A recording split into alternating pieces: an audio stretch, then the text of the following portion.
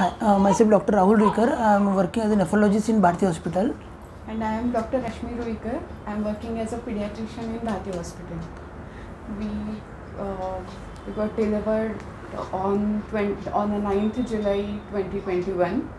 We got blessed with a baby girl and a baby boy, twins.